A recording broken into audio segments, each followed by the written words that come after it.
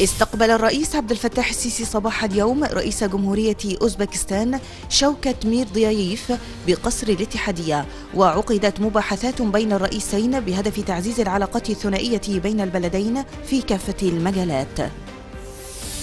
استعرض رئيس مجلس الوزراء مع رئيس الهيئة العامة لتنمية المنطقة الاقتصادية لقناة السويس وليد جمال الدين الموقف التنفيذي للمشروعات الاستثمارية التي تشهدها المنطقة. وأكد رئيس الوزراء أهمية مشروعات التطوير التي تشهدها المنطقة الاقتصادية لقناة السويس في جذب الاستثمار لهذه المنطقة الواعدة لافتا إلى ضرورة مواصلة جهود الترويج التي تسهم بدور فاعل في التعريف بالفرص والمزايا بالمنطقة. المنطقة الاقتصادية.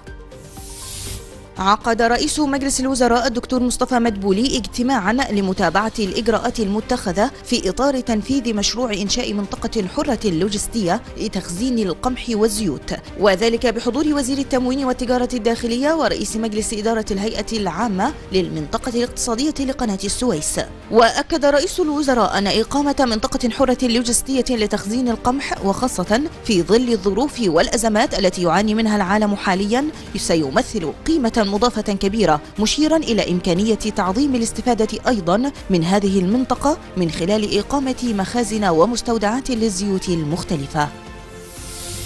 أعلنت هيئة الكوارث التركية تسجيل زلزال جديد بشدة 6 درجات فاصلة أربعة من عشرة على مقياس ريختر في إقليم هاتاي جنوبي البلاد. وأوضحت الهيئة أن الزلزال الجديد مصدره دفني في ولاية هاتاي بعمق 16 كيلومتر فاصلة سبعة من عشرة. كما تم تسجيل زلزال ثان بقوة 5 درجات فاصلة ثمانية من عشرة مصدره سمنداغ بعمق سبعة كيلومترات فيما هرع الأهالي إلى خارج البيوت وهم في حالة من الخوف الشديد من كل من سوريا وتركيا كما شعر سكان لبنان بتلك الهزات الأرضية أيضاً.